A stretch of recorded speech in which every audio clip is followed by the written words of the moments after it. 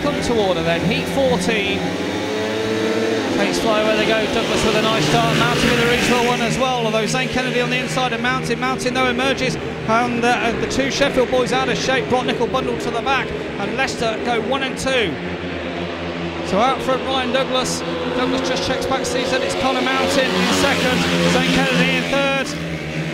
Zane Kennedy with work to do here, although a bad mistake in second for Connor Mountain just locks the bike up far too much there, exiting the second corner. Does that bring the Sheffield man Zane Kennedy back into play?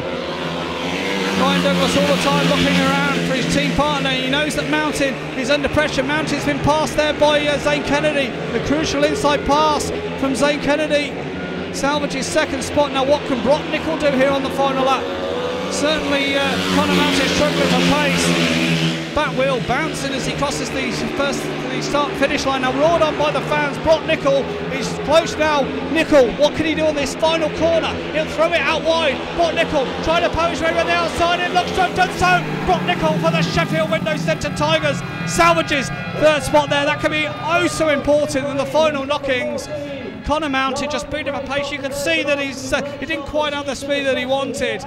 And Zane Kennedy found a way through at the start of the third lap. And then on the final corner, Brock Nickel pulls off a party piece that could mean that the Sheffield Window Centre Tigers are going to be victorious here this afternoon.